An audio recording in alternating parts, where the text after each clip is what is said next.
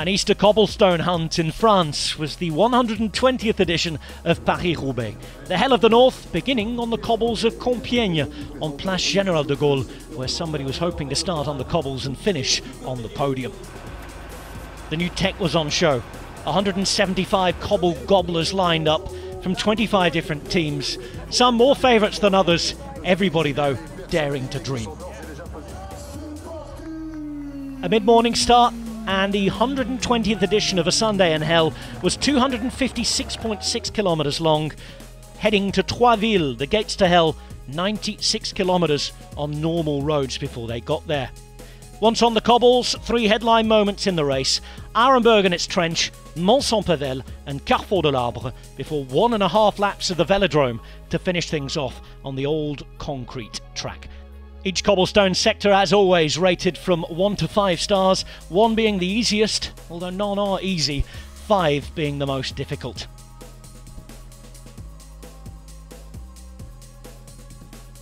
A hellish undertaking with just under 55 k's of cobbles to take on.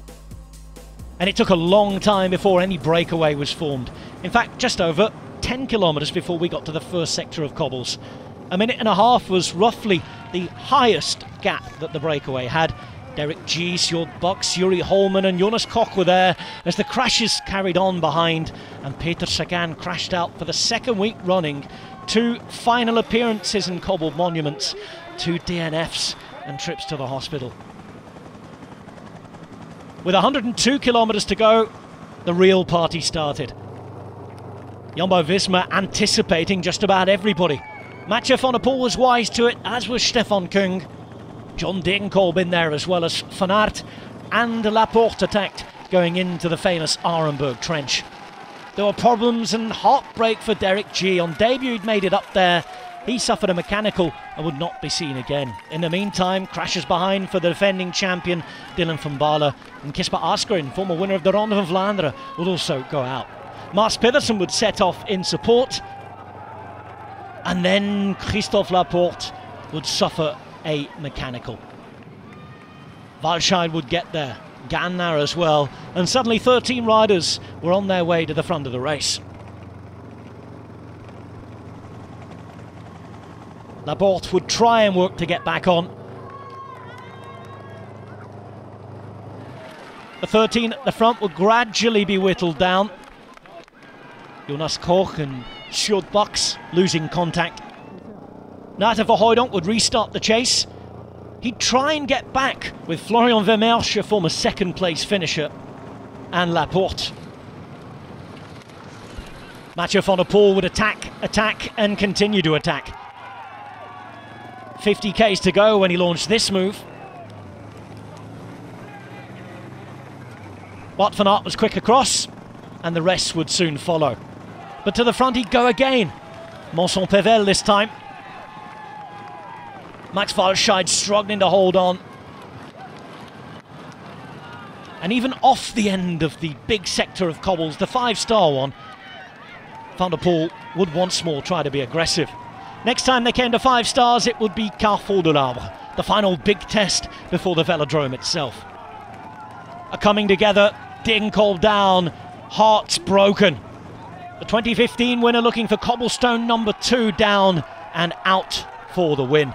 He'd be back on his bike as Wout van Aert and Mathieu van der Poel were at the front of the race. But with 15 and a half kilometres remaining, Van Aert be losing the wheel.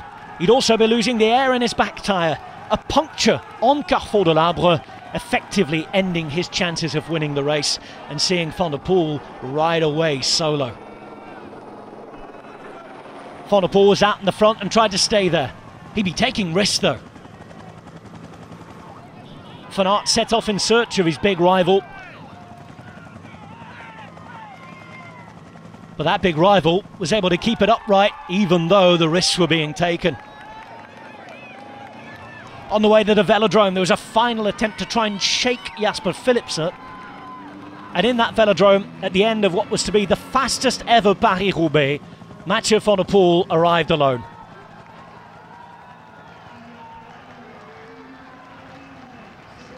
He finally realised what he'd done.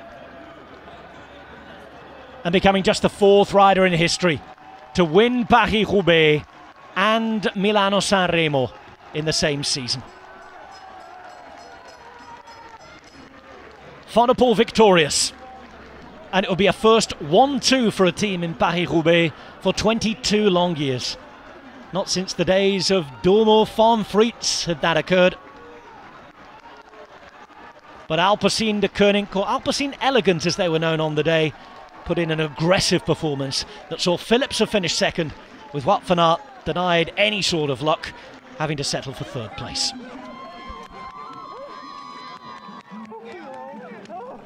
Big celebrations for Poel. First in Sanremo, second in the Ronde, first again in Roubaix. His third different monument, fourth in total. He's the man with the best percentage of top 10 finishes of any rider who has ever ridden a monument. It's a win though here. Philipsen second, Van Aert third, with Pedersen and Kung in the top five.